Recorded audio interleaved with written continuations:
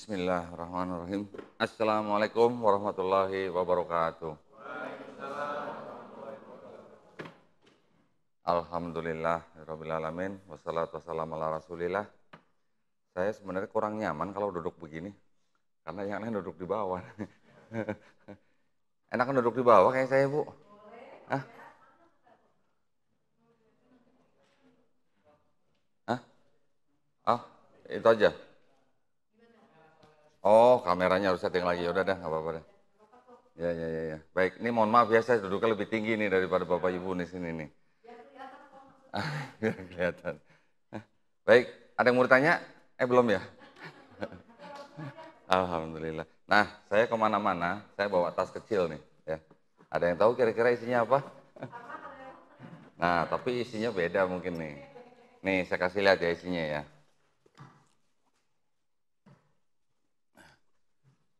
Ini biar kata segini juga lumayan berat ini. Bu Yeni udah pernah lihat ini. udah. udah. Nah, tuh isinya ini nih tuh. Isinya Bible nih. Kenapa saya kumpulin Bible nih? Nah, nanti saya ceritain ya kenapa ya.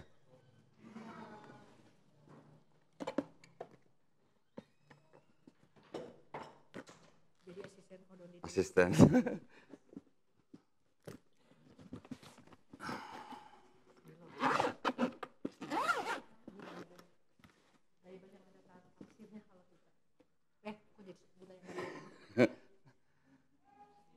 Baik, uh, perkenalkan nama saya Dondi Tan. Tan itu adalah marga, ya Pak ya. Tan itu marga. Kalau bahasa Mandarinya atau bahasa Hokiannya, marga itu se. Ya. Jadi kalau saya marganya Tan, berarti saya se-nya Tan gitu. Jadi bisa dibilang Doni setan gitu. Tapi bukan syaiton ya. bercanda ini bercanda. Baik, senang sekali bisa berada di uh, Masjid uh, Darussalam ya, Kota Wisata atas undangan Ibu Yeni Mualaf Center. Saya bergabung juga dengan Mualaf Center yang namanya Yayasan Pembina Mualaf atau HIT ya, atau yang dikenal dengan channel Graha Mualaf. Yayasan Pembina Mualaf atau HIT ini berpusat di Surabaya. Ya, kami juga melakukan hal-hal yang sama persis yang dilakukan oleh Mas apa Mualaf Center Darussalam kami juga membina para mualaf-mualaf dan kami sudah mempunyai wilayah kerja di seluruh Indonesia. Kami membagi Indonesia menjadi delapan wilayah. Ya. Dari mulai Aceh sampai Lampung, Lampung Jawa Barat, kemudian Jawa Tengah, Jawa Timur, dan Bali, kemudian Nusa Tenggara Barat, Nusa Tenggara Timur, Kalimantan Barat, Kalimantan Tengah, Kalimantan Timur, Sulawesi Utara, Sulawesi Selatan, Maluku, dan Papua. Kira-kira Kenapa kok kita membagi Indonesia ini menjadi delapan wilayah? Kira-kira kenapa? Ada yang tahu nggak? Ternyata kami mengikuti pola daripada gereja. Gereja-gereja di Indonesia itu juga membagi Indonesia menjadi delapan wilayah. Wilayahnya sama dengan yang kita bagi di Indonesia itu. Itu adalah wilayah-wilayah mereka dalam mereka melakukan yang disebut dengan kontekstualisasi C1 sampai C6. Nah, ya, mungkin ada yang belum dengar kali ya. Itu adalah misi, misi daripada kristenisasi di Indonesia. Nah, kenapa mereka kok melakukan hal-hal seperti itu? Ya, mereka memang Kristen memang agama misi ya. Saya berasumsi di sini semuanya mualaf ya, yang duduk di sini. Betul, semuanya mualaf? Kecuali yang itu dua itu ya. Kalau Mas ini kayaknya bukan mualaf nih yang lagi makan nih. Mualaf juga bukan? Mualaf juga. Masya Allah. Semuanya. Kecuali ibu dan anak sama dua kameramen itu ya. Bapak juga bukan mualaf? Bukan ya? Alhamdulillah. Islam keturunan tapi sudah bersandar. Alhamdulillah. Jadi uh, kalau boleh saya tahu, apakah semuanya berasal dari Nasrani? Betul? Semua dari Nasrani? Oke. Saya juga mantan mualaf. Saya bersahadat tahun 2014. Saya juga berasal dari Nasrani.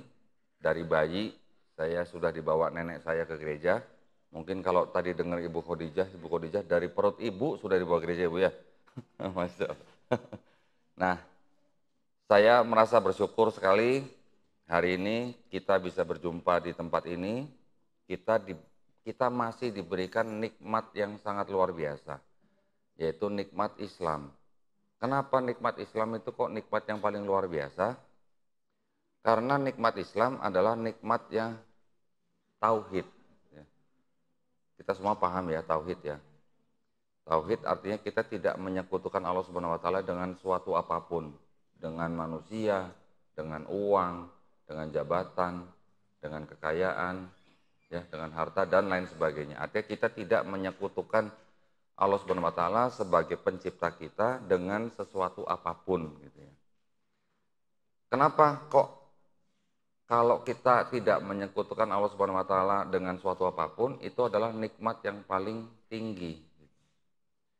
Karena dengan kita tidak menyekutukan Allah Subhanahu wa taala dengan suatu apa pun, itu sudah menjadi jaminan buat kita. Itu adalah jalan yang paling lurus gitu. Itulah mengapa di dalam surat Al-Fatihah ihdinas siratal mustaqim. Kenapa kok setiap hari, setiap sholat kita selalu minta jalan yang lurus gitu. Kalau mungkin saya sebut dengan apologet ya. Apologet itu adalah orang-orang yang berusaha membela keyakinannya. Kalau apologet Kristen itu mencibir kita dengan apa? uh, di Islam tiap hari orang Islam ih dinasirotol mustaqim. Tiap hari minta jalan yang lurus. Tiap hari minta ditunjuki jalan yang lurus gitu. Kalau di Kristen itu sudah ada jaminan ya bahwa di dalam Yesus percaya dengan Yesus Yesus Yesus itulah jalan dan hidup dan kebenaran. Ya. Tidak ada yang sampai kepada Bapa kalau tidak melalui aku. Katanya begitu ya. Tapi ternyata Dewa Mitra juga begitu Bu. Tapi ternyata Dewa Mitra yang dipercaya oleh orang-orang Persia, yang dipercaya juga oleh orang-orang Mesir, yang dipercaya juga oleh orang-orang Romawi, juga dipercaya sebagai jalan dan hidup dan kebenaran. The truth, the way, and the life. Kok mirip ya? Yesus dengan Dewa Mitra gitu. Kenapa ya kira-kira itu? Itu semua ada sejarahnya. Kenapa Romawi mempercayai mitra? Karena berasal dari Persia. Kenapa Persia mempercayai triat atau tiga Tuhan yang satu? Karena mereka juga bagian daripada daerah yang disebut dengan daerah yang apa ya? Ada Sumeria, ada Babilonia, ada Persia, ada Mesopotamia di dalam bagian itu. Itu semua daerah itu memang mereka mempercayai triat tiga kesatuan yaitu tiga Tuhan yang satu satu sama dengan tiga gitu. Itu ditularkan ke Yunani, Romawi. Romawi dapatnya dari Yunani. Yunani kuno sampai ada filsuf-filsuf seperti kita kenal mungkin ada Plato, ya nanti punya murid namanya Philo, ya nanti ada murid lagi turun ke bawah-bawah terus-terus sampai ke apa namanya yang berkecimpung di daerah Palestina dan Alexandria Mesir mereka semua mempercayai bahwa pribadi daripada Tuhan itu dibatasi hanya dengan angka tiga. Kenapa cuma tiga? Kenapa nggak empat? Kenapa nggak lima? Kenapa nggak sepuluh? Gitu? Kenapa nggak seratus? Gitu ya? Ternyata menurut seorang filsuf Yunani yang terkenal yaitu Aristoteles. Dia mengatakan menurut orang-orang Pitagoras, pernah dengar ya Pitagoras ya? Menurut orang-orang Pitagoras, alam semesta ini dibatasi dengan tiga, yaitu awal, tengah, akhir. Sehingga kami, kata, kata Aristoteles nih, sehingga kami menggunakan hukum alam semesta itu untuk menyembah dewa-dewa kami. Nah, ya. Itu perkataan dari filsuf Yunani. Sekarang pertanyaannya, kenapa kok di Kristen juga ada pribadi Tuhan yang tiga gitu? Kira-kira kebetulan nggak ya? kira-kira kebetulan nggak yang sana tiga, sini tiga, sini tiga, Kristen juga tiga gitu. Nah, sepertinya oke okay lah, anggap aja kebetulan gitu ya. Tetapi ada lagi. Uh, di Yohanes 6 ayat 51 sampai 54 dikatakan bahwa pada waktu perjamuan kudus ya. Bu Khadijah ini kayaknya hafal nih dengan ayat-ayat ini nih. ini saya bacakan tujuannya apa? Supaya bapak-bapak dan ibu ini yakin bahwa di dalam Bible ini ternyata banyak adopsi dari ajaran-ajaran paganisme. Ada yang tahu ya paganisme?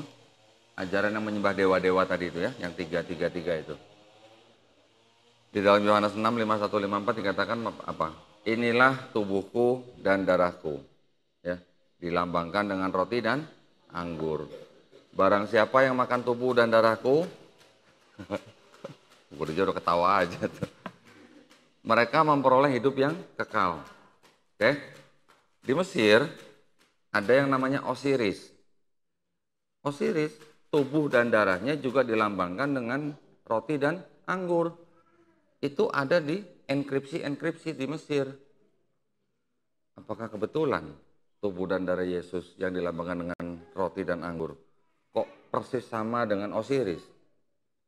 Apakah kira-kira kebetulan? Sama. Tadi udah kebetulan satu ya. Ini mau dianggap dua kali kebetulan? Kasihlah, purlah. Oke, berikutnya. Bapak Ibu pasti apa, apa uh, sangat familiar dengan lambang salib ya? Ya, lambang salib. Dari mana itu lambang salib tuh ceritanya? Dari Yesus. Mangkul salib. Ya. Tapi lambang salib yang begini yang seperti tanda plus gitu ya. Itu sebenarnya berasal dari mana? Hah? Dari mana? Trinitas. Bukan. Bukan. Dari mana? Vatikan Roma. Vatikan Roma yang mengadopsi, Pak. Ternyata itu dari kuil Serapis namanya. Kuil Serapis.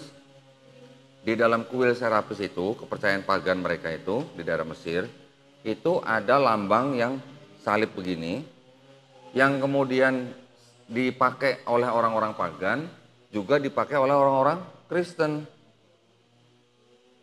Apakah kebetulan? Masa kebetulan terus gitu ya? Kok sama gitu ya? Terus kemudian ada lagi. Di dalam Markus pasal 1 ayat 1 itu dikatakan apa? Inilah kabar baik mengenai Yesus Kristus gitu ya. Ternyata Julius Caesar, Kaisar Julius Caesar juga disebut sebagai kabar baik dia keturunan ini, keturunan ini, dia adalah kabar baik sebagai juru selamat umat manusia. Julius Caesar juga disebut sebagai juru selamat umat manusia. Juga kabar baik gitu. Sama dengan Yesus. Yesus juga disebut kabar baik, juru selamat umat manusia. Kebetulan lagi nggak kira-kira? Kira-kira kebetulan lagi nggak? Di kitab Matius mungkin yang pernah ingat cerita ini, pada waktu Yesus disalib, tabir bait suci terbelah dua. Ya, betul? Ingat ya? Terus kemudian pada waktu Yesus dibangkitkan, kubur daripada orang-orang suci itu semuanya pada terbelah. Mayat daripada orang-orang suci bangkit dari kubur, masuk ke kota Yerusalem. Ingat, ada yang ingat ceritanya?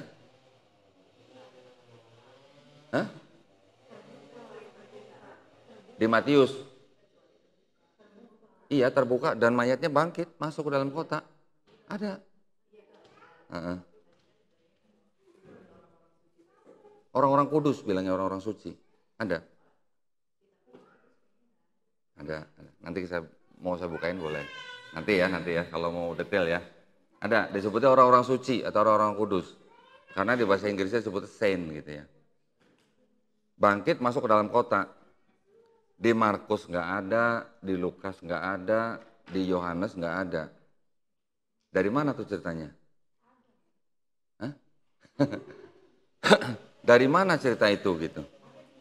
Di Markus nggak ada, di Lukas nggak ada, di Yohanes nggak ada. Boleh dicari. Hah? Hmm. Hmm. Sama. Ya. Itu yang disebut dengan gospel sinoptik. Ya. Terus?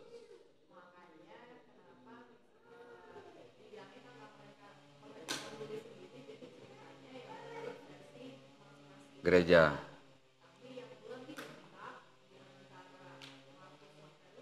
Hmm. Oke, nanti saya ceritain ya Bu ya. Nanti saya tulis ya sejarahnya ya.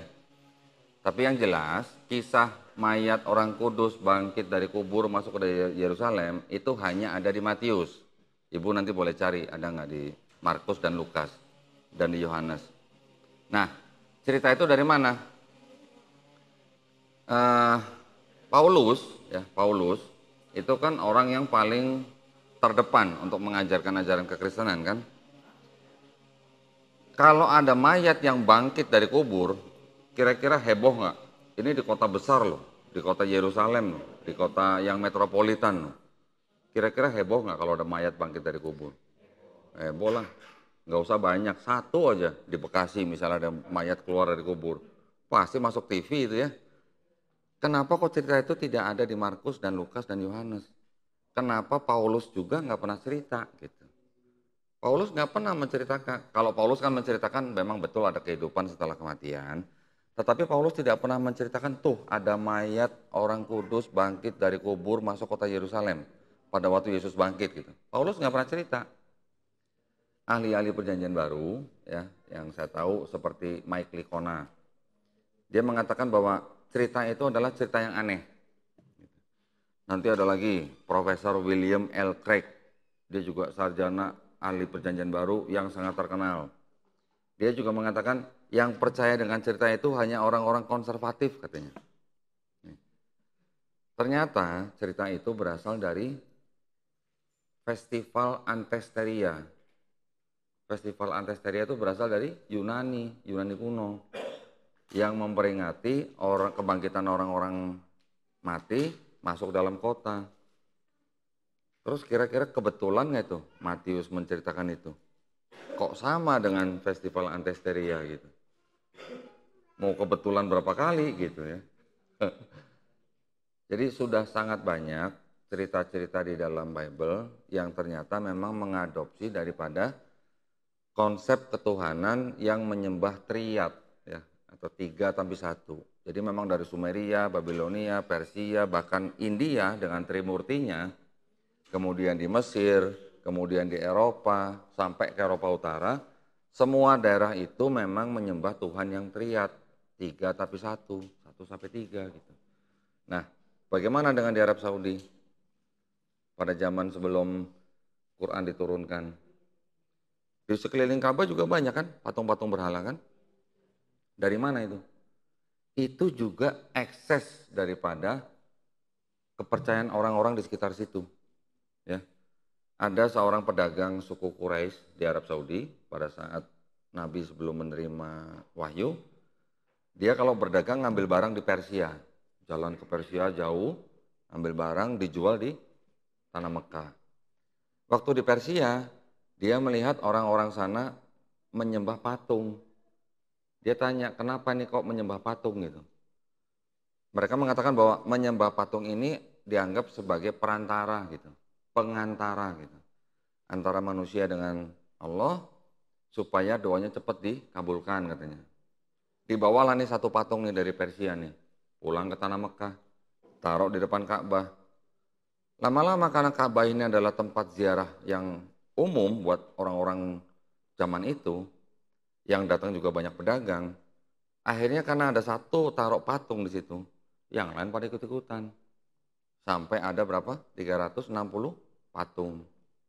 Nah, tetapi apakah sebenarnya orang-orang Quraisy yang pada saat itu menjadi penguasa Mekah, apakah mereka tidak tahu Allah? Mereka sebenarnya sudah tahu Allah. Bahkan orang tua, kakek Nabi Muhammad SAW juga sudah tahu Allah. Bahkan apa namanya? ayahnya Nabi Muhammad SAW namanya siapa? Abdullah, ya kan? Abdullah artinya apa? Hamba Allah. Artinya mereka sudah mengenal Allah sebenarnya. Tetapi karena masuk paham-paham paganisme itu, akhirnya mereka membiarkan.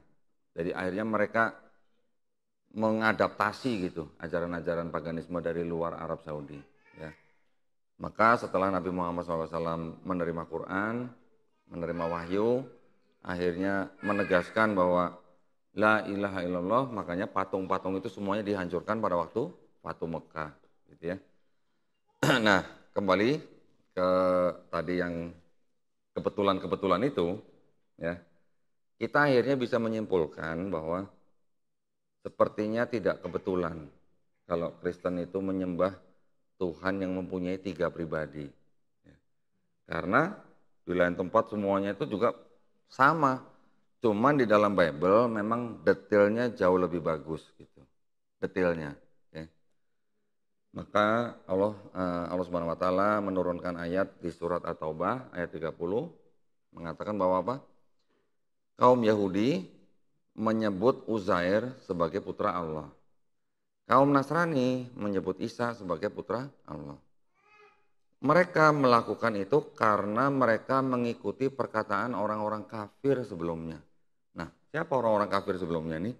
Yaitu tadi, yang dari Sumeria sampai ke Mesir yang di Romawi sampai ke Eropa Utara gitu. Itu gitu ya. Karena memang ada kepercayaan yang seperti itu akhirnya diikuti oleh orang-orang e, Nasrani dan orang-orang Yahudi. Oke. Saya mau menjelaskan sedikit ya tadi mengenai yang Matius, Markus, Lukas, Yohanes ya. Sebentar ya.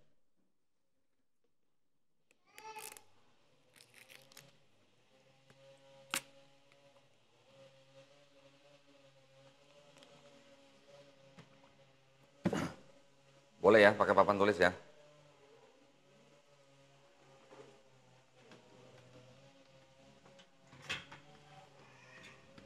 Iya. Ini ya.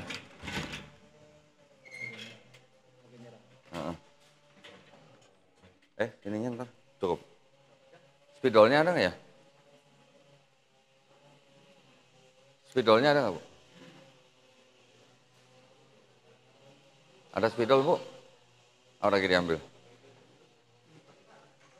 Oh iya. Nih, oh ini permanen. Nanti nggak bisa dihapus nih. Yang ini permanen.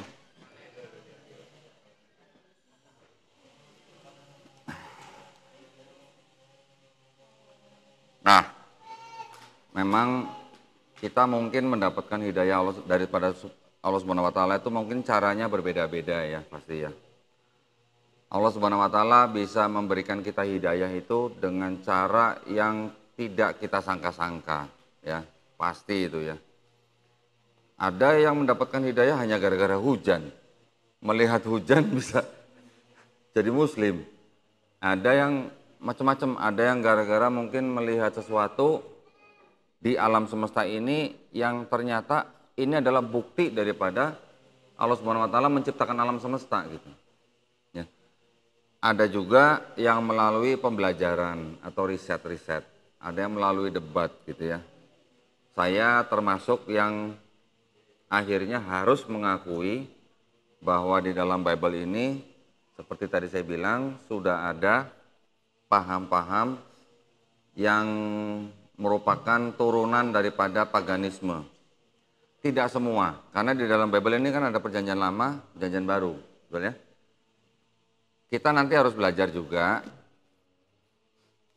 perjanjian lama itu berasal dari kitab apa dan punya siapa. Ibu pernah tahu? Taurat turun Musa, ke Daud. Terus? Amsal Salomo. Terus? Ya.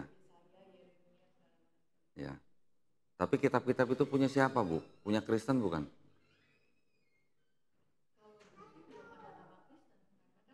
Iya. Betul. Hmm.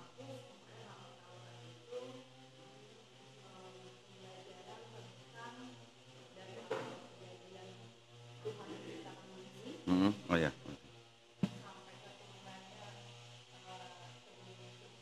Hmm.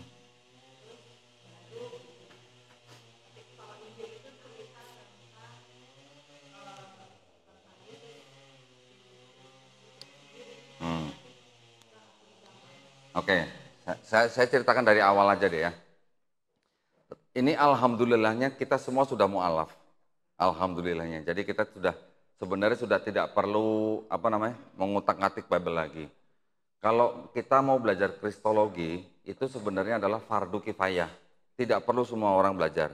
Tetapi kalau sudah ada yang belajar, termasuk saya, saya ini eh, yang menjadi garda terdepan untuk berhadapan dengan pendeta-pendeta atau misionaris-misionaris, baik di lapangan maupun di uh, ruang debat. Saya yang akan mencari mereka untuk saya ajak debat gitu. Tapi buat Bapak Ibu, saya hanya ingin memberikan atau membagikan uh, informasi apa itu Bible, dari mana, dan apa isinya. Gitu ya. Saya ceritakan begini, kita mengenal yang namanya dengan Taurat, ya, atau dalam bahasa Inggrisnya itu Torah. Apa itu Taurat atau Torah? Ini sebenarnya diturunkan kepada bangsa Israel, kepada Nabi Musa alaihissalam. Ya. Yang disebut dengan Torah itu sebenarnya hanya lima kitab Musa, ya, atau yang disebut dengan Pentateuch. Pernah dengar ibu ya? Pentateuch, lima kitab Musa, kejadian, keluaran, imamat, bilangan, ulangan. Ini yang disebut dengan Torah. Kemudian ada lagi yang disebut dengan kitab Nevi'im. Nevi'im. Nevi, nabi. Nabi, Nevi. Artinya ini buku-buku mengenai nabi-nabi. Ya. Nabi-nabi. Kemudian ada lagi yang disebut dengan kitab-kitab Ketuvim atau surat-surat. Amsal, pengkhotbah, ratapan, Mazmur, Mazmur juga termasuk dalamnya Ketuvim.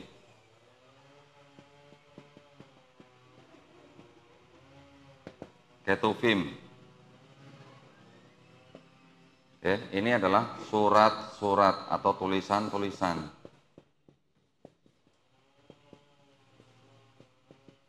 Oke, jadi ada Pentateuch atau disebut dengan Torah, Nevi'im atau kitab nabi-nabi, ketuvim atau surat-surat atau tulisan-tulisan. Ini disebut dengan semua ini apa? Belum PL Pak, belum nih masih jauh nih. Ini belum jadi PL nih. Ini disebut dengan apa? Tanah. Nah, jadi tanah itu adalah singkatan dari Torah, Nevi'im, dan Ketuvim. Ini singkatan tanah gitu namanya ya. Kemudian dari tanah ini, kira-kira di abad ketiga atau tepatnya tahun 270 sebelum masehi, ini diterbit, diterjemahkan, sorry, diterjemahkan menjadi Septuaginta.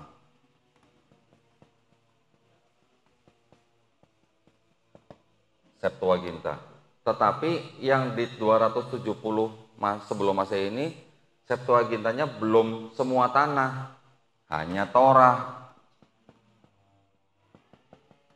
Nah, jadi ada dua tahap. Yang kedua, baru eh, Septuagintanya ada lagi. Ini yang baru Nevi'im dan Ketuvim.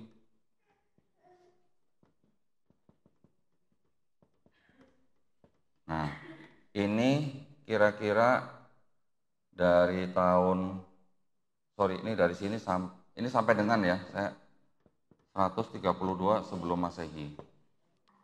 Nah jadi ada dua tahap nih bu. Ada mulai Septuaginta yang hanya ini diterjemahkan di 272 eh 270 sebelum masehi. ada lagi yang Nevi'im dan Ketuvim juga diterjemahkan menjadi Septuaginta. Nah, yang menerjemahkan orangnya sama nggak? Ternyata beda. Yang ini oleh 72 rabi-rabi Yahudi. Yang ini oleh Yahudi-Yahudi tidak diketahui siapa, tetapi yang sudah terpapar oleh aliran Helenisme. Ini semua ini adanya di Alexandria, Mesir.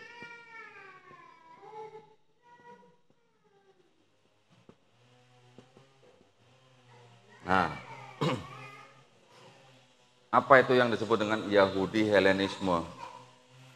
Ini yang tadi saya cerita, yang kepercayaan, budaya, paganisme yang berasal dari Yunani kuno yang dibawa oleh penjajah Romawi ke daerah Alexandria Mesir.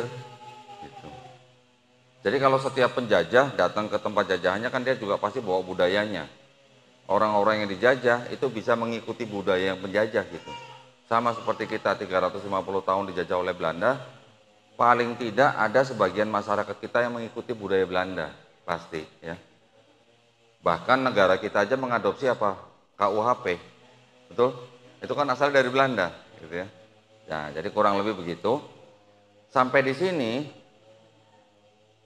Septuaginta ini yang dua yang diterjemahkan dalam dua tahap ini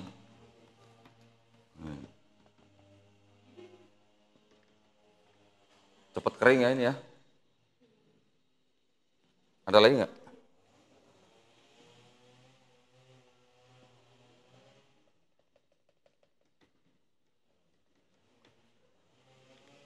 Cepat habis ini. Yang ini permanen.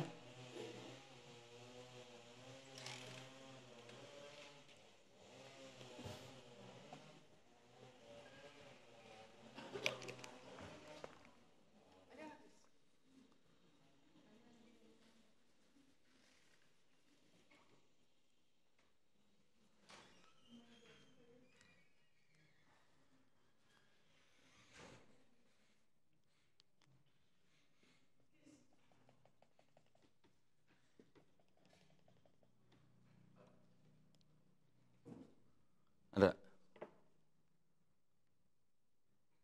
Nah,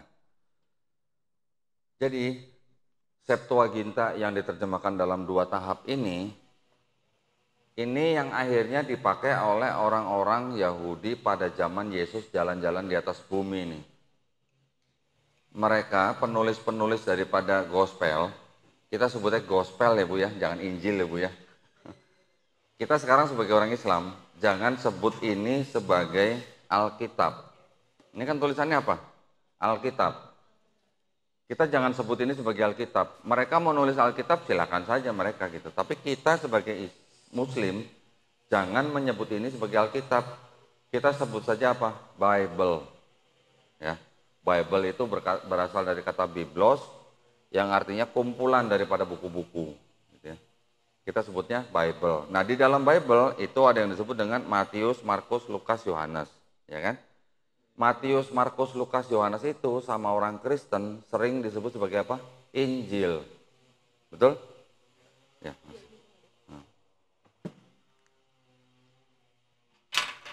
Sering disebut sebagai Injil. Saya punya nih kitab Injil. Isinya perjanjian baru aja nih. Kita jangan sebut Matius, Markus, Lukas, Yohanes itu sebagai Injil. Karena buat kita orang Islam, Injil adalah wahyu yang diturunkan Allah Subhanahu wa taala kepada Nabi Isa alaihissalam untuk Bani Israel pada zaman itu. Setuju nggak? Setuju ya? Yang muslim dari lahir harus setuju nih. Taurat, Zabur juga sama itu juga adalah wahyu-wahyu yang diturunkan Allah Subhanahu wa taala kepada nabi dan rasulnya untuk Bani Israel pada zaman itu. Nah, apakah Taurat, Zabur, Injil itu dijanjikan untuk dijaga? Hah? Ya? Ibu-ibu, apakah Taurat, Zabur, Injil itu dijanjikan oleh Allah Subhanahu wa taala untuk dijaga? Tidak. Dikoreksi ya, Pak ya. Yang dijanjikan untuk dijaga hanya Al-Qur'an Taurat, Zabur, Injil tidak dijanjikan untuk dijaga. Maka itu sampai sekarang yang mau disebut Torah atau mau disebut Injil atau mau disebut Mazmur itu versinya banyak, beda-beda. Dan tidak ada yang tidak apa namanya tidak diketahui siapa yang menulis gitu. Kita tahu Nabi Musa alaihissalam hidupnya kira-kira di abad keberapa? Kira-kira di abad ke-14, abad ke-13 sebelum Masehi. Ya. Sedangkan Bible-Bible ini, ini nih yang sebut saya dengan ini, ini baru ada kira-kira di abad ke-6 sebelum Masehi. Jadi antara abad ke-13 sampai ke abad 6 Beda berapa tahun tuh? 700 tahun. Hampir satu milenium tuh. Udah berapa generasi gitu. Ya. Yang paling tua ditemukan itu berasal dari tahun 600 sampai tahun 500-an sebelum Masehi. Ya, cukup lama. Jadi tidak ada hubungannya atau tidak tidak terkoneksi dengan Nabi Musa yang hidup abad ke-13 atau 14 sebelum Masehi. Oke. Nah, sekarang kitab Septuaginta ini, ini saya hapus dulu ya. Eh, nah lo, ini juga permanen ya?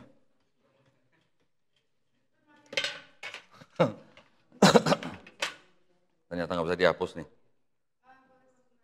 Mudah-mudahan ini bisa dihapus. Oke, nggak apa-apa deh. Saya terusin aja dari sini deh. Nah, ini yang disebut dengan Septuaginta nih ya. Nah, Septuaginta ini beredar pada zaman Yesus masih hidup. Ya. Di bait Allah, Yesus juga dikatakan dia membaca kitab Yesaya. Kitab Yesaya adalah bagian dari ini ya, Nevi'im ya. Penulis-penulis gospel atau penulis-penulis atau bahkan Rasul Paulus sendiri, kalau saya ngomong Rasul ini jangan disamakan dengan Rasul di dalam Islam ya. Rasul dalam Islam adalah nabi yang menerima wahyu dan diberikan risalah yang baru. Udah biarin nggak apa-apa Nggak apa-apa nanti aja. Kalau rasul yang di dalam Kristen atau yang disebut dengan Rasul Paulus itu adalah rasul sebagai murid daripada Yesus. Entah pernah ketemu atau tidak ketemu, kalau dia merasa mengikuti Yesus, dia menyebut dirinya sebagai rasul gitu ya. Nah, penulis-penulis dari perjanjian baru itu kira-kira ada hampir daripada seribu ayat ya, ini hampir 1000 ayat nih, Ibu mungkin belum tahu nih. Atau tepatnya 937 ayat di seluruh perjanjian baru, itu yang mengutip dari sini. Dikutip dari sini. Jadi kalau ada pernyataan penulis perjanjian baru itu diinspirasi oleh Roh Kudus, kita harus bertanya, diinspirasi oleh Roh Kudus atau diinspirasi oleh Septuaginta gitu saya dan teman-teman di Gerah Mualaf sudah mempelajari ayat-ayat apa saja yang dikutip dari Septuaginta. Nah, dari Septuaginta ini kemudian di abad keempat, nah ini melalui koreksi dulu ya.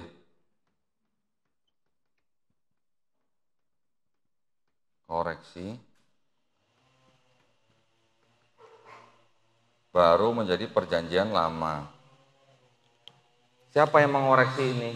Ini kan sudah diterjemahkan, masih dikoreksi lagi. Siapa yang mengoreksi? Ini adalah bapak-bapak gereja yang namanya Origen. Ya, Origen ini orang yang bisa berbahasa Ibrani. Kemudian Lucian. Kemudian yang terakhir Hesisius di abad keempat. Kenapa dikoreksi? Karena e, penerjemahan ini ini dibuat seolah-olah berbicara mengenai Yesus. Nah, kalau kita semuanya berasal dari Kristen, kita pasti paham bahwa Yesus sering dikatakan dinubuatkan di perjanjian lama. Betul ya? Betul ya? Ternyata yang dianggap sebagai nubuat-nubuat di dalam perjanjian lama, yang dianggap ya oleh orang-orang Kristen, sebagai nubuat Yesus di perjanjian lama, itu adalah koreksi daripada bapak-bapak gereja ini. Ya. Baru di abad keempat, di konsili Kartago baru dijadikan atau dikanonisasi menjadi perjanjian lama. Jadi kalau yang disebut dengan Bible ini yang dipakai atau yang dianggap sebagai kitab sucinya orang Kristen ternyata yang separohnya ini ber, bukan berasal dari Kristen. Ini separohnya berasal dari siapa nih? Dari sini, dari Yahudi. Pertanyaannya, apakah tafsirnya orang Yahudi terhadap ini, ini, ini sama dengan tafsir yang di sini? Yang punya Kristen? Ternyata beda. Orang Yahudi tidak akan bilang bahwa di dalam Torah, Nevi'im, Ketuvim ada nubuat buat Yesus Kristus. Tidak ada satupun gitu. Tapi kalau orang Kristen, karena penerjemahannya sudah diubah sesuaikan, sehingga Septuaginta atau Perjanjian Lama ini seolah-olah berbicara mengenai Yesus. Gitu. Saya bisa tunjukkan banyak contoh ayat-ayat dan kata-kata apa yang diubah sesuaikan yang diterjemahkan dari mulai bahasa Ibrani ke bahasa Yunani, bahasa Yunani ke bahasa Latin, bahasa Latin kemudian ke bahasa Inggris, baru diterjemahkan ke bahasa yang lain-lain gitu. Itu ada ayat-ayat yang memang diubah sesuaikan.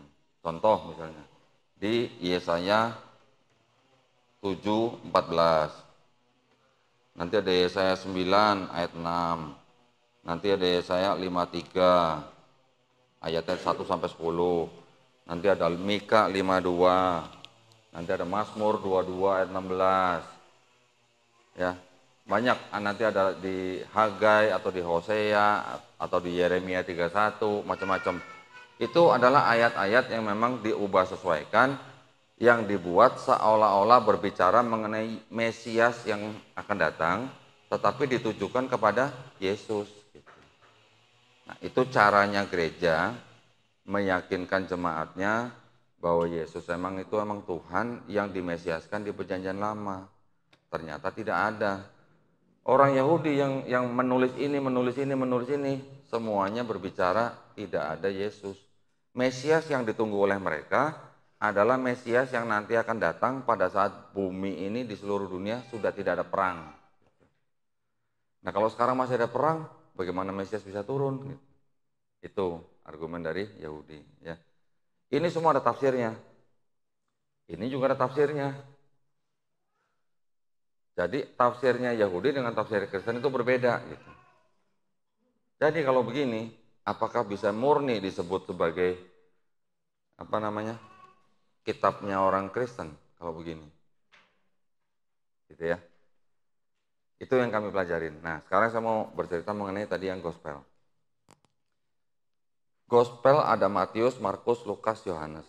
Yang kira-kira ditulis pertama kali yang mana? Menurut Ibu yang mana? Pertama, Yohanes. Ternyata yang ditulis pertama kali itu adalah Markus. Ini tahun 65 sampai 70 Masehi. Kemudian Matius dan Lukas ini menyadur dari Markus. Ya. Hampir 90% yang ada di Mark, yang ada di Matius dan Lukas itu isinya adalah yang di Markus. Karena dia mereka menyadur Markus, makanya isinya kurang lebih sama. Tetapi selain daripada Markus, ya sumbernya adalah Markus, mereka juga menambahkan apa? Q. Q itu berasal dari kata quell, Well itu artinya kabar berita yang beredar di masyarakat. Ini ditulis kira-kira 75 sampai 80 Masehi. Yang terakhir baru Yohanes. Yohanes ditulis kira-kira tahun 95 sampai 100 Masehi. Ada yang bilang 110 Masehi gitulah.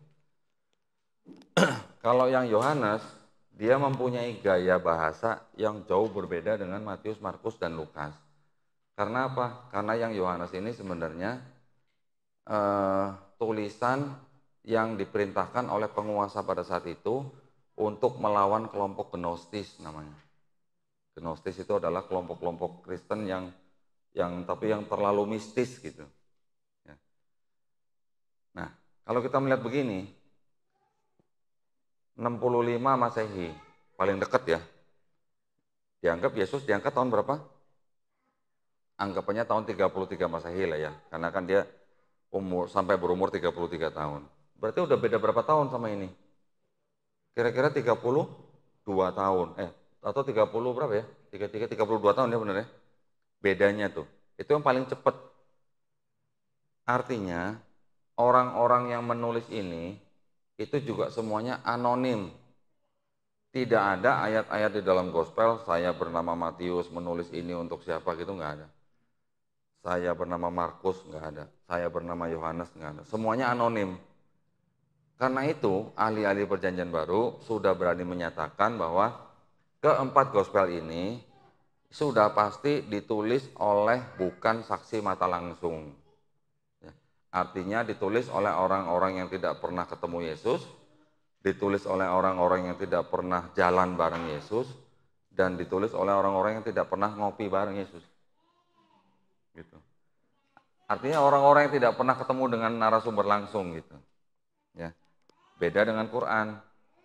Quran ditulis oleh sahabat-sahabat Nabi, yang dibacakan oleh Nabi, yang dicek dan recheck bacaannya, kalau ada yang salah langsung dibetulkan, yang dituntun oleh Nabi, ayat ini masuk surat berapa, ayat ini masuk surat apa, ayat ini masuk surat mana gitu.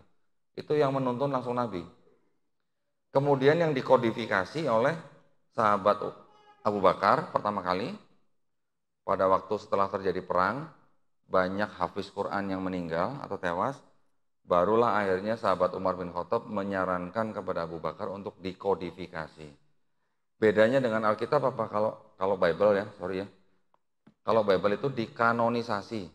Kalau Quran dikodifikasi. Bedanya apa? Kalau Bible ini banyak buku, sudah banyak surah, dikumpulkan jadi satu, dipilih yang mana yang masuk dalam Bible, baru ditetapkan gitu. Tapi kalau Quran, setiap orang yang punya manuskrip, manuskrip atau naskah-naskah kuno ya atau ortografi itu dikumpulkan, kemudian dibacakan di depan orang yang hafal Quran. Di depan orang yang hafiz Quran. Kalau ada bacaan yang salah, ditolak. Kalau ada tulisan yang salah, ditolak. Tapi kalau yang bacanya benar, diterima. Itu namanya baru dikodifikasi. Gitu mengenai jumlah suratnya, penomorannya itu baru nanti. Itu nanti belakangan. Nah, sekarang kalau kita kembali lagi ke sini, kalau kita melihat daripada gospel-gospel ini, ternyata tidak cuma empat gospel yang ada pada saat itu, di pada saat di apa abad keempat ya untuk yang di ini nih di PL ini. Karena pada waktu kanonisasi ini bersamaan antara perjanjian lama dan perjanjian baru dikanonisasi dalam satu waktu sehingga timbullah satu Bible yang yang sudah komplit gitu dari perjanjian lama dari kejadian sampai wahyu. Gitu. Nah sekarang dari Bible yang paling kuno itu barulah diterjemahkan menjadi nanti ditulis lagi menjadi bahasa bahasa yang Yunani tapi yang sudah penyusunan berikutnya.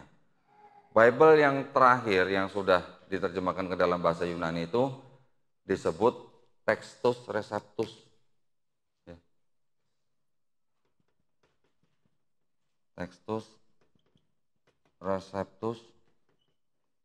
Ini yang menyusun adalah Erasmus di abad ke-16 Masehi. Bayangkan, dari abad 4 sampai abad ke-16.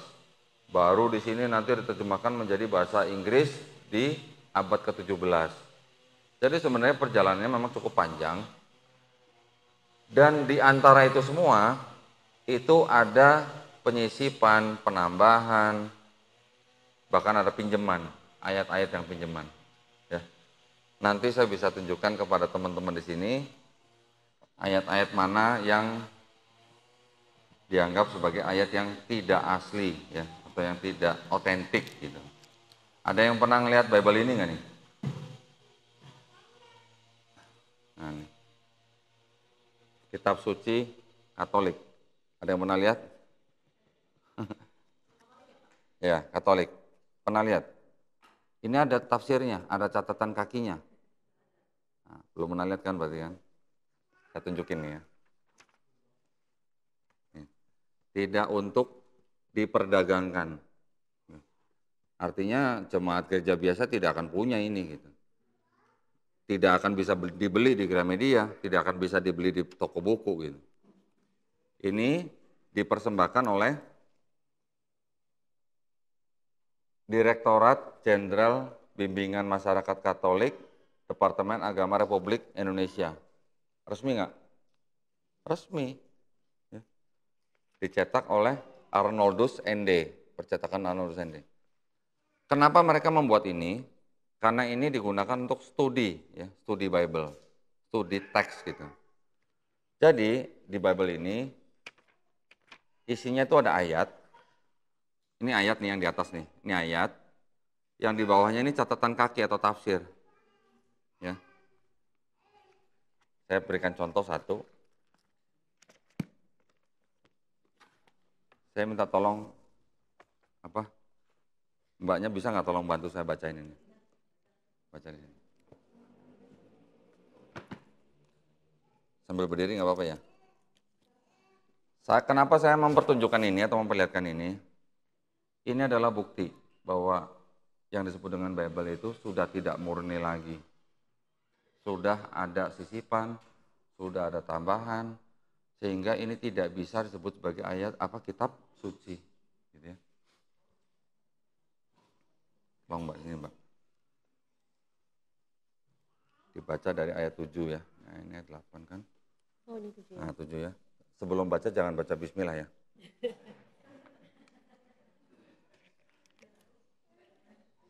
Ya, Ayat, ya, ayat 7 sampai 8. Sebab ada sebab ada tiga yang memberi kesaksian di dalam sorga, Bapa, Firman, dan Roh Kudus. Dan ketiganya adalah satu. Dan ada tiga yang memberi kesaksian di bumi, roh dan air dan darah dan ketiganya adalah satu. Oke. Makasih mbak. Pak, saya deg-degan Pak megang. Makanya tadi saya bilang jangan pakai bismillah bacanya. Udah makasih ya mbak ya. Pak. Tadi ayat yang dibacakan oleh Ukti kita ini adalah dari 1 Yohanes 5 ayat 7. Ya. Ayat ini dianggap sebagai proof text atau bukti teks bahwa di dalam Bible ada ajaran Trinitas. Karena dikatakan apa? Dan ada saksi di surga, Bapa, Firman, dan Roh Kudus, dan ketiganya adalah satu. Kan memang itu eh, apa namanya konsep daripada Trinitas, ya kan? itu malah tapi kita harus salib nah eh iya mbak sorry catatan kakinya belum dibaca. Catatan kakinya belum dibaca. Lihat sini aja. Ya ada itu ya. Nah ini yang kita harus tahu nih catatan kakinya isinya apa nih ya. Kalau itu tadi ayatnya sekarang kita dengarkan catatan kakinya Ibu Khadijah muka mungkin belum belum pernah denger ini nih pasti nih Nah, baca dari sini. Sesaat ya? Eh, sesat. Enggak, yang ini nih. Ayat 7 sampai 8. Jadi ini ada kata di dalam surga sampai dengan kata di bumi. Nah, ini baru catatan kakinya. Ayat 7 sampai 8 di dalam sorga, di bumi, bagian ayat ini tidak terdapat dalam naskah-naskah Yunani dan paling tua. Taruh dulu Pak. Terus? Santai aja. Jadi ini Terus? Ingat lalu Ingat lalu. Ingat masa lalu. dan tidak pula dalam terjemahan-terjemahan kuno bahkan tidak dalam naskah-naskah paling baik di Vulgata. Hmm. Vulgata itu adalah Bible pertama kali dalam bahasa Latin ya, di abad keempat. Terus? Bagian ini kiranya asli sebuah catatan di pinggir halaman.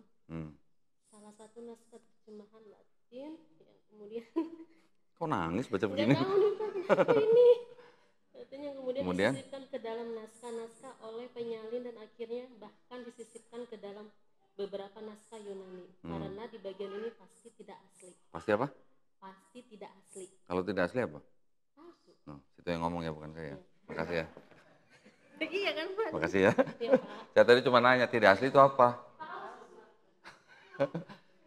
saya ulang ya, saya ulang ya. Ini mudah-mudahan supaya menjadi pembelajaran buat kita nih. Ayat 7 sampai 8 yang tadi dikatakan adalah karena ada tiga saksi di dalam surga, Bapa, Firman, dan Roh Kudus, dan ketiganya adalah satu. ayat-ayat itu tidak terdapat dalam naskah-naskah Yunani yang paling tua dan tidak pula dalam terjemahan-terjemahan kuno, bahkan tidak dalam naskah-naskah paling baik dari Vulgata. Vulgata adalah Alkitab berbahasa Latin yang sudah menerjemahkan Septuaginta atau menjadi perjanjian lama itu dan perjanjian baru. Termasuk empat gospel dan surat-surat Paulus semuanya ya. Yang 27 kitab semua dalam perjanjian baru sudah masuk dalam Vulgata.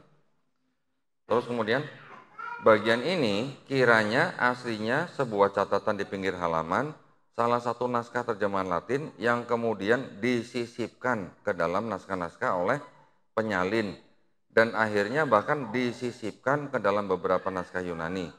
Karenanya bagian ini pasti tidak asli.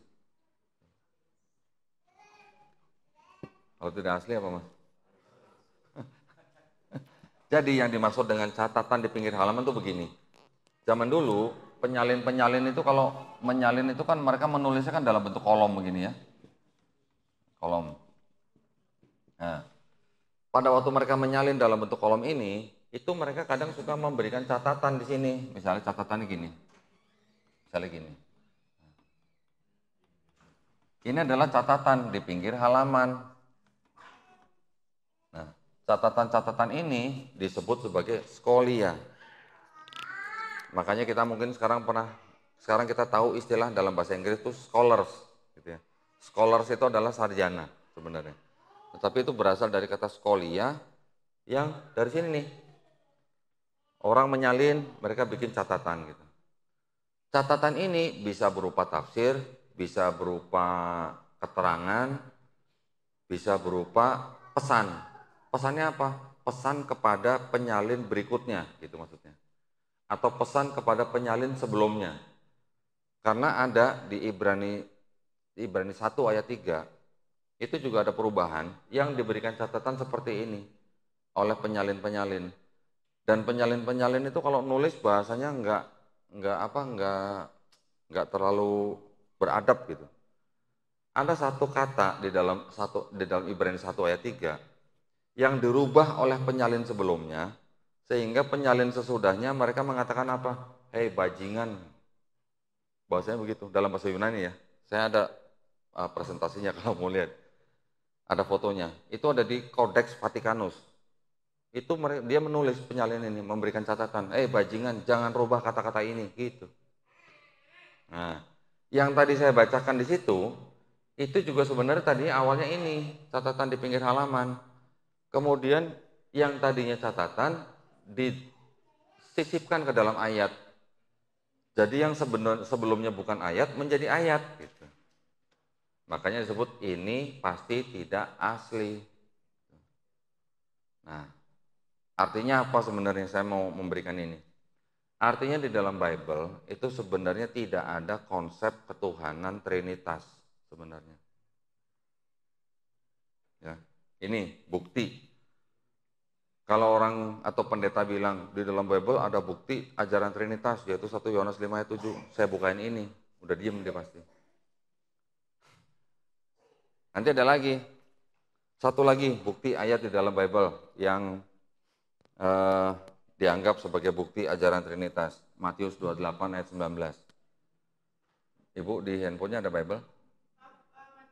Matius 28 19. Di situ dikatakan apa? Karena itu pergilah. Jadikanlah semua bangsa muridku. ya kan? Baptislah mereka dalam nama Bapa dan Putra dan Roh Kudus. Itu yang disebut sebagai amanah agung. Itu adalah perintah untuk orang Kristen memberitakan apa? Katanya Injil katanya. Jadi kalau belum dibaptis belum kelar itu urusannya gitu. Belum selesai. Tapi ternyata apa? Ternyata nih, ternyata ayat itu Matius 28 19 ternyata itu adalah ayat sisipan di abad kedua oleh gereja. Siapa yang bilang? Ahli-ahli perjanjian baru, bukan orang-orang Islam. Yang bilang itu. Bahkan Katolik Ensiklopedia berani menulis ayat-ayat ini adalah tambahan di abad kedua. Kalau namanya ayat bisa tambahan, sisipan, tidak asli, bahkan pinjaman. Apakah bisa ini disebut sebagai kitab suci? Alhamdulillah Bapak Ibu sudah menjadi muslim ya. Alhamdulillah. Kalau belum kita bisa bicara panjang lebar tuh ya kalau mengenai ini. Saya punya banyak bukti di dalam sini. Ayat ini pinjaman, ayat ini tidak asli, ayat ini seperti itulah macam-macam. Karena memang apa? Yang menulis saja tidak tahu siapa, yang menyalin juga tidak tahu siapa. Akhirnya jadinya begini. Ini adalah bukti bahwa ini adalah tulisan manusia atau karangan manusia. Jadi saya tidak mengatakan tidak ada firman Tuhan di sini. Saya masih berani bilang bahwa di dalam ini masih ada sisa-sisa firman Tuhan. Ya.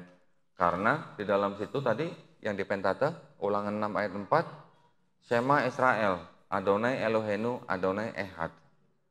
Ehad ya. Ehad kita tahu kul ahad. Ehad ahad, sebenarnya sama. Ya, ehad bahasa Ibrani, ahad bahasa Arab. Orang Kristen sekarang mengartikan kata esa itu bukan satu-satunya atau satu aja, tapi satu kesatuan gitu. Ya, satu kesatuan artinya tiga pribadi tapi satu hakikat. Gitu. Mereka mengartikan esanya seperti itu. Tapi kalau ehadnya orang Yahudi dengan ahadnya orang Islam itu sama persis. Kalau diterjemahkan ulangan 6 ayat 4 itu la ilaha illallah.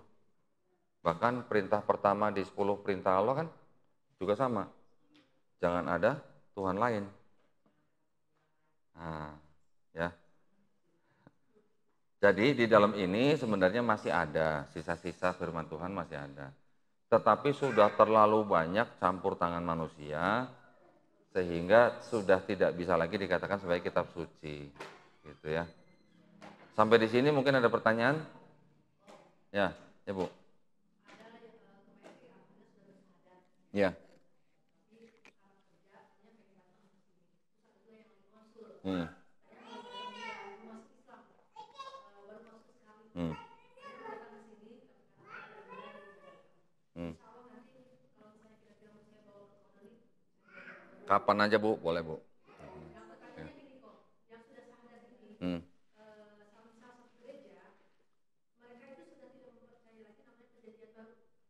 Oke. Okay. Ya. Perjanjian lama kali. Perjanjian barunya. Oke. Okay. Hmm.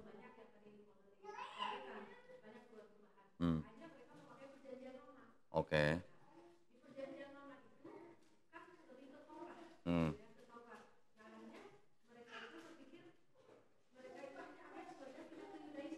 Oke. Okay. Oke. Okay. Nggak apa-apa, Bu. Nggak apa-apa. Iya, nggak apa-apa.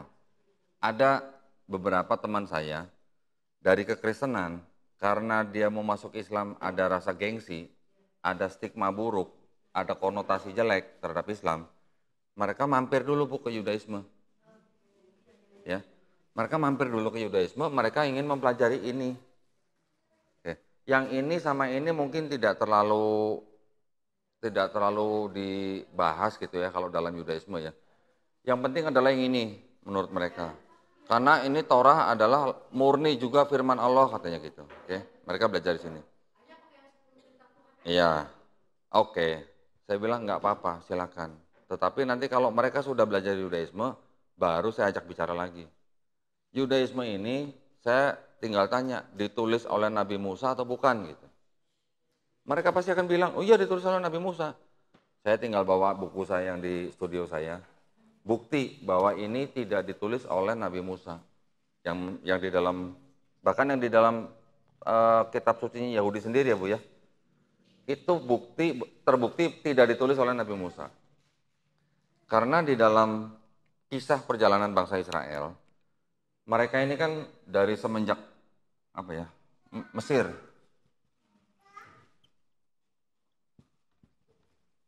Bangsa Israel di Mesir menjadi budak berapa tahun? Berapa ratus tahun? Ada yang tahu? 430 tahun. Oke. Kemudian setelah Mesir, mereka kan keluar dari Mesir, masuk ke dalam tanah Kanaan, menjadi bangsa mereka, menjadi dipimpin oleh 12 hakim, kemudian mereka minta raja, diangkatlah Raja Saul, kemudian Raja Saul meninggal digantikan oleh Raja Daud, Raja Daud meninggal digantikan oleh anaknya Nabi Solo, Raja Salomo. Begitu Raja Salomo meninggal, kerajaan Israel terbelah menjadi dua kerajaan. Kerajaan utara, ke Israel Utara dan Israel Selatan. Oke. Kerajaan Israel Utara akhirnya direbut oleh Assyria. Israel Utara, jadi sorry, Assyria ini kira-kira di abad ke-8 sebelum Masehi. Kemudian setelah satu abad kemudian, satu hampir dua abad sesudahnya, Assyria yang yang sedang menguasai Israel Utara dan kerajaan Israel Selatan atau Yudea itu semuanya dikuasai oleh Babilonia. Ini kira-kira di abad ke-7 sebelum Masehi. Kemudian setelah Raja Babilonia menghancurkan yang disebut dengan Haikal Sulaiman atau bait sucinya orang Yahudi yang yang pertama dibangun, mereka dikalahkan oleh bangsa Persia. Ini kira-kira abad 6 sebelum Masehi. Di abad ke-6 ini, bait suci yang tadinya dihancurkan boleh dibangun kembali oleh Raja Persia melalui Raja Darius dibangun lagi. Kemudian kira-kira di abad keempat mereka dikuasai oleh bangsa Romawi. Persia dikalahkan oleh Romawi. Ini kira-kira 4 sampai kira-kira lebih 2 atau 3 ya, eh 2 lah ya, Masehi. Ini 4 sebelum Masehi ini.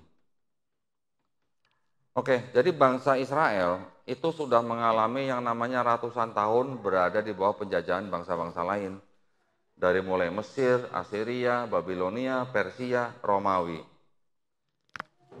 Ini kira-kira nih Mesir yang seperti tadi saya cerita nih, Mesir, Assyria, Babilonia, Persia, Romawi, ada nggak yang percaya dengan ajaran Tauhid?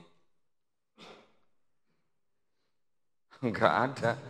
Inilah yang semua tadi mereka mempercayai ajaran-ajaran pagan, yang percaya ajaran triat gitu. Kira-kira ratusan tahun sebuah bangsa berada di bawah kekuasaan bangsa lain yang punya kepercayaan yang macam-macam gitu ya, yang pagan gitu. Kira-kira ada nggak orang-orang Yahudi yang terpapar? Hah? Pasti ada. Pasti ada lah. Samiri yang membuat patung sapi yang dijadikan berhala sudah menjadikan salah satu indikasi gitu bahwa dia sudah mengikuti ajaran pagan. Ya kan? Di bawah Babilonia, apalagi Persia begitu juga. Akhirnya apa? Akhirnya di dalam bangsa Israel ini ada sebagian yang masih bertauhid, ada sebagian yang sudah terpapar. Nah, ada indikasi bahwa Kristen itu juga sebenarnya diciptakan oleh orang-orang Yahudi yang sudah terpapar Helenisme. Karena di dalam suku Yahudi itu selain daripada 12 suku utamanya, mereka juga punya kelompok-kelompok gitu. Ada kelompok Saduki, pernah dengar ya di Bible ada kan Saduki ya. Saduki itu adalah orang-orang Yahudi yang dekat dengan pemerintahan. Nanti ada lagi orang-orang Yahudi yang disebut dengan suku Farisi. Pernah dengar ya? Farisi adalah orang-orang yang menjadi rabi-rabi gitu. Nanti ada lagi dengan suku Eseni. Eseni ini adalah orang-orang yang ya mereka religius tapi mistis gitu loh, banyak mistisnya gitu. Nah, di tengah rai Kristen itu diciptakan oleh orang-orang Yahudi yang berasal dari suku Eseni ini, dicampur dengan kelompok lain gitu. Karena ada mistisnya, mereka percaya ada tiga, tiga pribadi dan segala macam. Itu gitu ya. Tapi maksud saya gini Bu, kalau ada orang yang dari Kristen mau ke Islam terus dia mampir dulu ke Yudaisme, nggak apa-apa bu, nggak apa-apa. Kita nggak usah paksakan langsung masuk Islam, nggak apa-apa. Suruh dia belajar dulu di sini, nanti kita bisa buktikan bahwa ini ternyata tidak ditulis oleh Nabi Musa alaihissalam. Karena di waktu di sini nih, nah ini, ini ada hubungannya di sini. Pada waktu di Babilonia, ini sudah mulai timbul yang namanya sekolah-sekolah atau di Islam kita kenal dengan mazhab, kalau di Islam kita kenal Ada empat mazhab ya, yang populer ya. Di sini juga mereka punya empat mazhab nih Bu. Nah, empat mazhab ini apa? Itu adalah yang disebut dengan Yahwis. Yang kedua Elohis. Yang ketiga adalah Deuteronomis.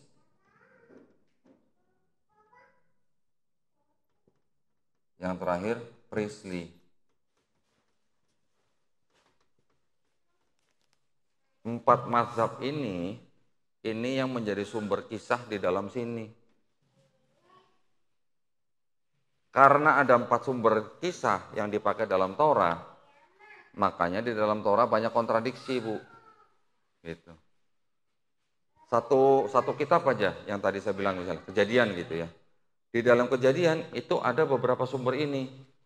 Nanti di dalam ulangan cuman ini aja gitu misalnya. Nanti di keluaran ini semuanya ada gitu. Nanti di bilangan mungkin dua atau tiga gitu. Ini sudah terbukti. Jadi di sini banyak kontradiksi karena banyak sumber gitu. Nah kalau Quran kan nggak nggak begitu. Quran kan sumbernya hanya satu dari Allah Subhanahu Wa Taala. Nanti insya Allah bu, kalau dia sudah belajar Torah dan dia akhirnya mengetahui ada mazhab-mazhab itu, dia pasti bisa berpikir sendiri nanti. Ada? Ah, Oke. Okay. Alhamdulillah. Hmm. Ya, betul. Hmm. Ya. Tadi yang saya bilang, bangsa Israel dari mulai Mesir sampai ke Romawi itu sebenarnya di dalam tradisi mereka melalui Torah yang di dalamnya itu ada 613 hukum, bukan cuma 10 perintah Allah ya. Ada 613 hukum yang dituliskan di dalam Talmud. Ya. Itu sebenarnya kurang lebih sama dengan Islam, Bu. Ada wudhu, ada tefila atau sholat, ada perpuluhan atau zakat, ada puasa. Sebenarnya sama semua. Ada kerudung, hampir sama dengan Islam. Jadi sebenarnya saya juga berani bilang bahwa sebenarnya Bani Israel yang disebut di dalam Quran itu sebenarnya secara akidah mereka adalah muslim sebenarnya. Tetapi syariatnya belum sama dengan syariat yang dibawa Nabi Muhammad SAW. Gitu loh. Saya juga berani bilang bahwa nabi-nabi sebelum Nabi Muhammad SAW kembali sampai Nabi Adam alaihissalam secara akidah ya, secara akidah ya, semuanya adalah muslim. Muslim kan orang yang berislam. Islam itu kan artinya kan berserah diri. Jadi orang yang bermuslim, eh, orang muslim itu adalah orang yang berserah diri.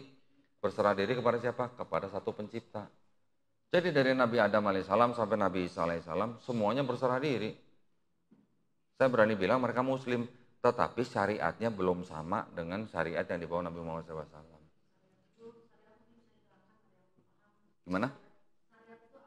Oh, syariat itu adalah ya sebenarnya arti daripada kata syariat itu sebenarnya adalah Torah. Torah ini sebenarnya artinya syariat bu, kalau mau tahu nih.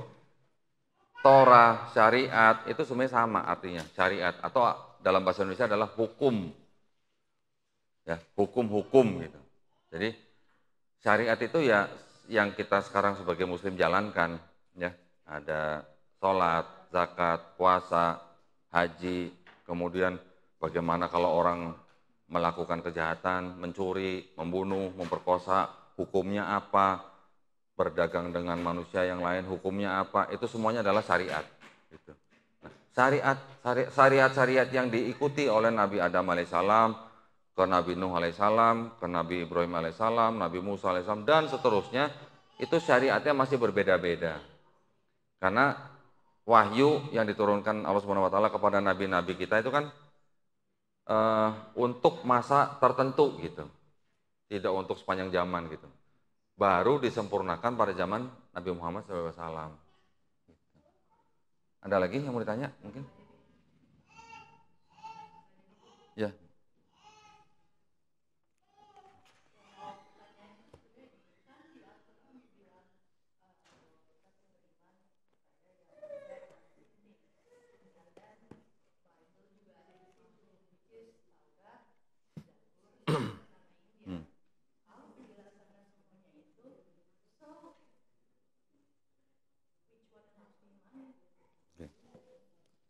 Saya tadi saya tadi sempat bertanya kan, apakah Taurat, Zabur, Injil yang disebut di dalam Quran itu adalah ini? Ada yang berani jawab? Apakah Taurat, Zabur, Injil yang disebut di dalam Quran itu apakah ini? Ada yang berani jawab nggak? Ada? Hah? Nggak ada? Coba yang muslim dari lahir coba. Hah? Ini ada tulisan Taurat, ada tulisan Injil, Bu.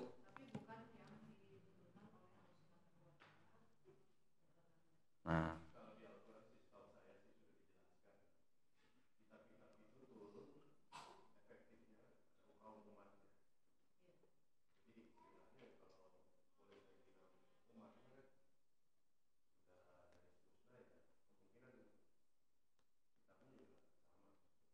Sudah tidak ada. Atau gimana? Oke, Bu saya tegaskan ya Bu ya. Yang disebut dengan Taurat, Zabur, Injil di dalam Quran, yang dibenarkan oleh Quran, itu bukan ini Bu. Saya, saya tegaskan bukan ini. Kenapa? Saya, kita nanti bisa bahas secara ilmiah, bisa bahas secara akademis, kenapa Quran, Taurat, Zabur, Injil yang disebut dalam Quran itu bukan ini. Karena apa? Ini salah satunya adalah ini. Penulisan-penulisan. Yang menulis itu orang-orang ini. Sekarang kita sebagai orang Islam, mudah-mudahan Bapak Ibu setuju dengan saya. Taurat, Zabur, Injil adalah wahyu-wahyu yang diturunkan Allah Subhanahu wa taala kepada nabi-nabinya dan rasulnya untuk Bani Israel pada zaman itu. Setuju apa enggak? Setuju ya? Jadi, kalau yang namanya nabinya sudah menerima wahyu, kemudian dia sudah menyampaikan kepada umatnya, kemudian nabi ini sudah wafat, ke mana wahyunya? Ya sudah ngikut ya, sudah nggak ada ya. Namanya wahyu, kalau wahyu itu kan kepada, sebenarnya kan gini, kalau kita manusia biasa bukan nabi, kita menerima sesuatu yang berasal dari Tuhan itu bisa disebut sebagai apa? Ilham. Ya kan? ilham untuk manusia bukan nabi. Kalau untuk nabi disebut wahyu. Gitu. Nah kalau kita mendapatkan ilham, terus kalau kita sudah mati, ke mana ilhamnya? Ya sudah hilang. gitu. Dan Taurat, Zabur, Injil di dalam Quran tidak dijanjikan untuk dijaga, Bu. Yang dijanjikan untuk dijaga hanyalah Quran. Nah, sekarang bedanya apa? Bagaimana caranya Quran dijaga? Apakah dengan buku-buku seperti itu? Apakah dengan software-software yang di handphone? Apakah dengan soft copy soft copy yang di komputer? Ternyata tidak. Quran dijaga melalui siapa bu? Penghafal Quran, hafiz-hafiz Quran. Jadi kalau semua mushaf Quran, ini kan sebut mushaf ya pak ya? Ini mushaf Quran, terus kemudian soft copy yang di komputer, kemudian apa pun lah yang berhubungan dengan Quran secara fisik ya, baik hardware maupun software, semua di seluruh dunia dihapuskan atau dimusnahkan Berani nggak? Berani kita orang Islam. Ancurin semuanya, mushaf Quran dan segala macam. Dalam waktu singkat, Quran bisa direkonstruksi kembali. Oleh siapa? Oleh hafiz-hafiz Quran. Begitu habis Quran kita kumpulin, berapa mereka suruh membacakan, tulis ulang, jadi Quran. Nah kalau ini, semua Bible, semua soft copy, semua di seluruh bumi dihancurkan atau dimusnahkan, bisa ada Bible lagi nggak? Tidak ada, karena tidak ada orang menghafal Bible. Tidak ada orang bisa hafal Bible. Nggak usah hafal satu kitab begini, satu lembar juga nggak ada yang hafal. Kalau Quran, kenapa orang bisa hafal Quran? Karena itu berasal dari Allah Subhanahu Wa Taala, sehingga dimudahkan orang untuk menghafalnya. Gitu bu. Jadi kalau ibu tanya tadi, yang mana yang harus diikuti? Ya, sudah dijelaskan dalam Quran bahwa kitab ini adalah kitab yang menyempurnakan kitab-kitab sebelumnya. Tetapi apakah yang namanya kitab itu harus berbentuk buku? Ternyata enggak juga, Bu.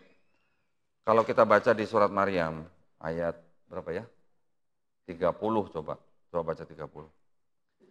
Itu adalah perkataan Nabi Isa alaihissalam sewaktu dia masih bayi, masih digendongan ibunya. Pada waktu dia membela ibunya dari tuduhan orang-orang Yahudi bahwa dia berzina.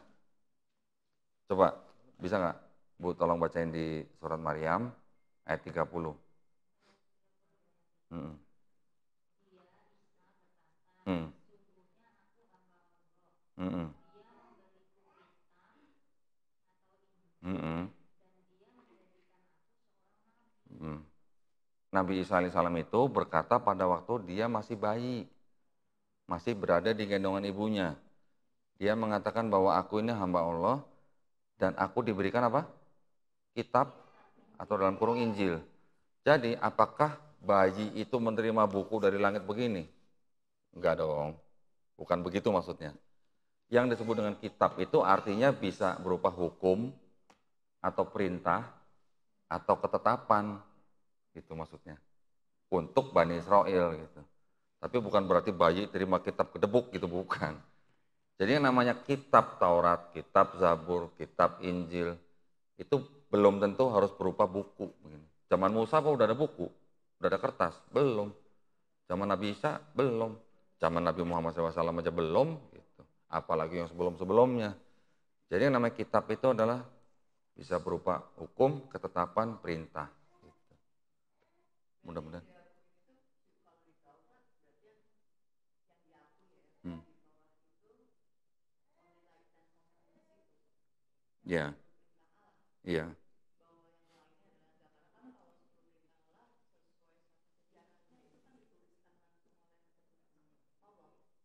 Yang mana yang dituliskan langsung?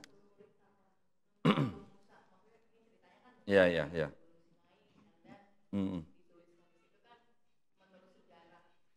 Hmm.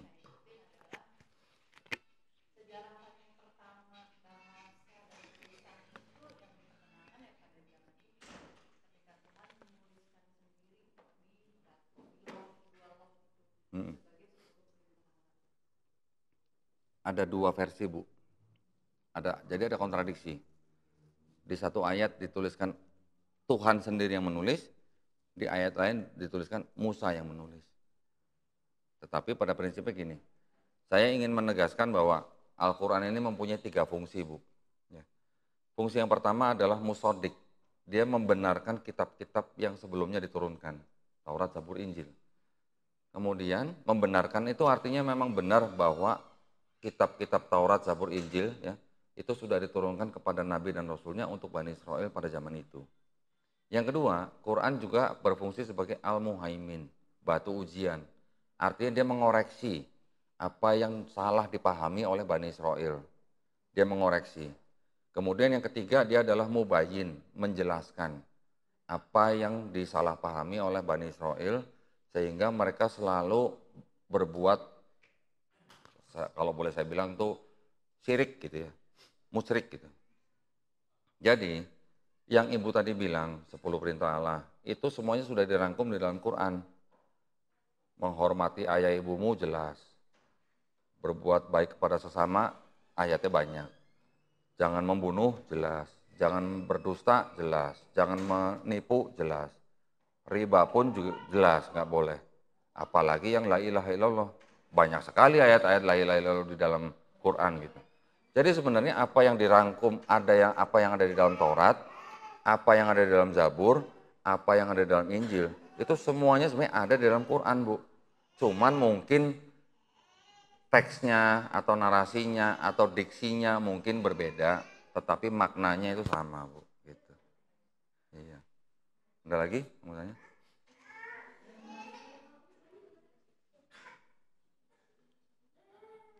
Ini udah masuk zuhur belum sih? Udah kan? Oh bentar lagi. Oke. Baik, ada lagi pertanyaan sebelum kita tutup? Silakan Pak. Waalaikumsalam.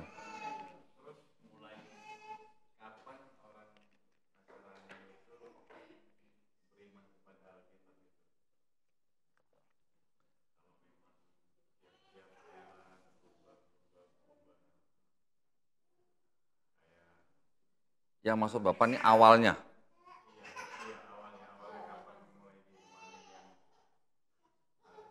Hmm, gini. Jadi Pak, sebenarnya dari abad kedua itu sudah mulai ada kelompok yang namanya, saya lupa namanya apa ya, Marcionites kalau nggak salah. Ada ada kelompok yang mencoba menyusun Bible, tapi isinya uh, agak berbeda dengan Bible yang sekarang kita lihat ini. Ya. Dan teksnya juga berbeda gitu. Jadi di dalam kekristenan awal itu memang banyak kelompok-kelompok yang berbeda-beda. Pahamnya pun juga berbeda-beda. Dan itu berevolusi Pak. Jadi Trinitas itu enggak serta-merta nongol Trinitas gitu enggak Pak. Kita lihat dengar azan dulu ya. Saya lanjutkan sebentar ya, habis itu kita sholat ya Pak ya. Tadi pertanyaan Bapak, sejak kapan mereka mempercayai Bible gitu Pak ya? Bible itu sendiri baru dikanonisasi di abad keempat, Pak. Akhir abad keempat, setelah beberapa konsili gitu. Nah, kenapa begitu lama baru dikanonisasi? Karena sebelumnya itu mereka harus berjibaku dulu dengan menetapkan atau apa namanya memutuskan akidah mana yang diikutin gitu pak. Karena banyak kelompok-kelompok gitu. Dan Trinitas itu yang sekarang dipegang oleh kelompok yang utama itu tidak serta merta timbul menjadi akidah yang paling utama gitu pak. Itu melalui evolusi gitu. Pertama-tama di abad-abad awal gitu pak ya. Paham yang pertama timbul tuh paham doketisme. Ini yang mempercayai bahwa Yesus itu bentuk Tuhan di bumi gitu. Kemudian nggak lama dikalahkan oleh paham separatisme. Separatisme itu paham yang memisahkan. Jadi Yesus itu sebenarnya manusia, dia mendapatkan keilahian pada waktu dia dibaptis, kemudian pada waktu disalib yang diangkat itu Kristusnya bukan Yesusnya gitu. Oke, okay? baru dengar mungkin Pak ya. yang ketiga, paham yang disebut dengan modalisme. Modalisme itu yang percaya bahwa Yesus itu ya Bapa, Bapa itu ya Yesus gitu. Jadi sama pribadinya gitu, bukan bukan pribadi yang terpisah gitu.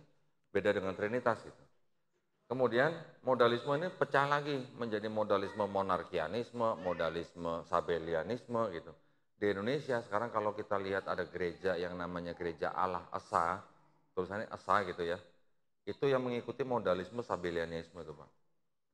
Nah baru di abad kedua ada istilah yang disebut dengan Trinitas yang dicetuskan oleh Tertullian, kemudian diterima oleh gereja, kemudian dimodifikasi oleh gereja, Tertuliannya sendiri akhirnya dibuang sama gereja. Dimodifikasi sama gereja, Pak. Jadi pahamnya apa? Bapak bukan Yesus, Yesus bukan Roh Kudus, Roh Kudus bukan Bapak, tapi ketiganya satu. Ketiganya hakikatnya Tuhan gitu. Paham nggak Pak? Bapak paham Trinitas? Benar. Sarjana Barat itu mengatakan yang bilang paham Trinitas sebenarnya dia nggak paham. Karena apa? Katekismenya berlanjut. Bapa Maha Kuasa, Anak Maha Kuasa, Roh Kudus Maha Kuasa, tetapi bukan tiga Maha Kuasa, tapi satu Maha Kuasa. Ngerti nggak Pak? Paham bohongnya. nah, jadi baru di abad keempat itu yang namanya Trinitas baru mulai eh, apa namanya menjadi dikuatkan gitu. Ini melalui beberapa konsili Konsili yang pertama, konsili Nisea. Nisea 325 Masehi. Ini menetapkan bahwa Yesus punya hakikat yang sama dengan Bapa, makanya dia disebut atau dianggap sebagai Tuhan, Yesusnya Tuhan gitu. Yang kedua, Konsili Konstantinopel Nopel tahun 381 Masehi. Di sini baru ditetapkan Roh Kudus juga punya hakikat yang sama dengan Bapa. Jadi baru di tahun ini Roh Kudus disebut juga sebagai Tuhan. Nah, berarti di tahun 381 ini baru baru diresmikan gitu namanya Trinitas gitu, Pak. Bayangkan dari abad pertama sampai abad keempat, 400 tahun baru ditetapkan Trinitas. Kemudian ada lagi konsili namanya Efesus. Tahun 431 Masehi. Nanti ada konsil lagi Kalsedon 451 Masehi. Di Efesus tahun 431 ditetapkan Maria sebagai Theotokos, bunda pengantar Tuhan ke bumi. Gitu. Di Kalsedon ditetapkan Yesus itu punya dua nature atau dua sifat yaitu 100% manusia dan 100% Tuhan. Jadi konsili-konsili ini dibuat untuk menetapkan atau meneguhkan akidahnya orang Kristen gitu Pak. Bible-nya sendiri baru dikanonisasinya di abad keempat, akhir abad keempat gitu, finalnya.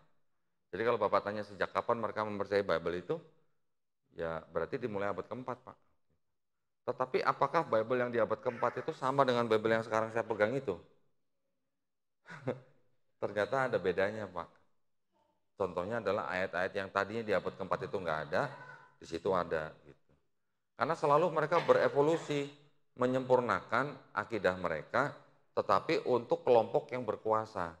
Untuk kelompok yang tidak berkuasa, dokumen-dokumen mereka dihancurkan, dibakar. Contoh misalnya kelompok Arius atau yang disebut ajarannya Arianisme, Pak. Arianisme ini percaya satu Tuhan, Yesus bukan Tuhan. Yesus adalah hanya anak Allah gitu. Tapi sebutan anak Allah itu sebenarnya maksudnya adalah orang soleh gitu. gitu ya. Cukup jelas ya mudah